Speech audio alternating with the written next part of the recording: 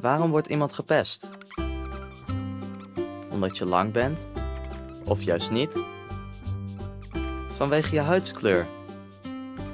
Je gewicht? Waar je vandaan komt? Hoe je praat?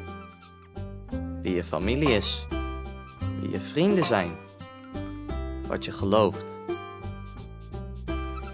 Het kan alles zijn wat opvalt als anders. Maar het is in ieder geval nooit jouw schuld. Elke dag worden overal in de wereld kinderen gepest.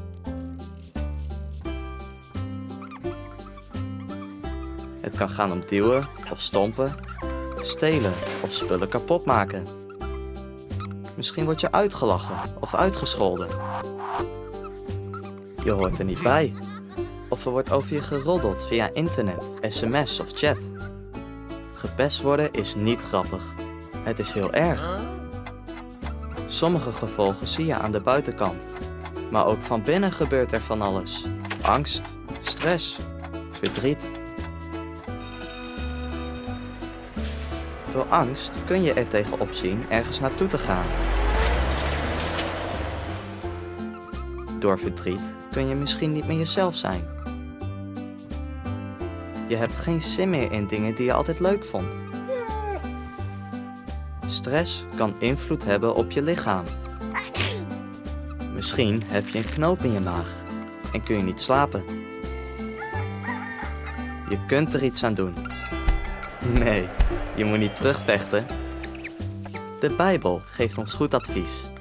Romeinen 12 vers 17 zegt, vergeld niemand kwaad met kwaad. Dit zijn dingen die je wel kunt doen. Wees voorbereid. Denk er van tevoren over na wat je wil zeggen. Wees zelfverzekerd. Met humor kun je de spanning wegnemen. Denk erover na hoe je jezelf kunt beschermen. Spreuken 22 vers 3 zegt dat iemand die verstandig is het gevaar ziet aankomen en zich verbergt. Vermijd plekken waar je gepest kunt worden. En als het toch gebeurt, loop dan weg. Loop niet alleen naar school. Neem een vriend mee. Zet je naam op je spullen. Neem geen geld of dure dingen mee naar school. Vertel het aan een volwassene. Het moet aan het licht komen. Je kunt gaan praten met je ouders, een leraar of een andere volwassene. Misschien voel je een klikspaan, maar je moet om hulp vragen. Het is niet makkelijk, maar het is te doen.